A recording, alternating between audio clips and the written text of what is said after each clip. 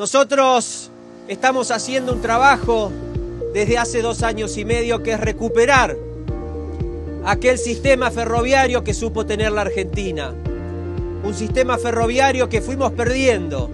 Nuestra gente de trenes argentinos, la firme convicción de nuestro presidente, la decisión del presidente de la Cámara de Diputados, Sergio Massa, de acompañar con los recursos económicos necesarios en la formulación del presupuesto para que vuelva el país a conectar a los argentinos.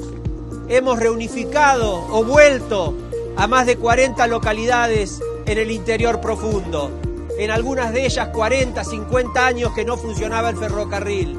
Estamos trabajando al unísono en todos los aspectos, en distintos puntos del país recuperando vías, en distintos talleres recuperando material rodante, y con nuestra gente, poniendo imaginación y mucho empeño, con trenes argentinos operaciones, con trenes argentinos carga, viendo cómo hacemos para recuperar toda esa riqueza abandonada de material rodante, que no podemos nunca más resignar un kilómetro de vía, que no podemos resignar nunca más una estación conectada,